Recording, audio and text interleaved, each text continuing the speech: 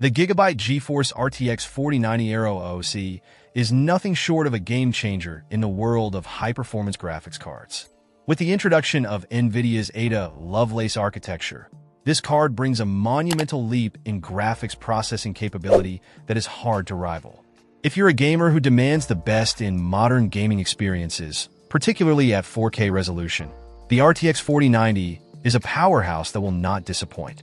Its impressive clock speed of 2,535 MHz and a staggering 24 gigabytes of graphics RAM provide a robust pipeline to push pixels at incredibly high frame rates. This means you can dive into the most demanding games without sacrificing performance or visual fidelity. In practical terms, what does this mean for gamers? Simply put, you can expect seamless gameplay with stunning graphics and minimal lag.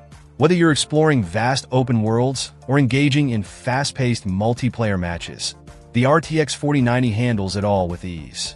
PC Mag has noted that nothing else even comes close to it, and they are spot on. The performance enhancements offered by this card are not just theoretical. They translate into real-world advantages that can enhance your gaming experience exponentially.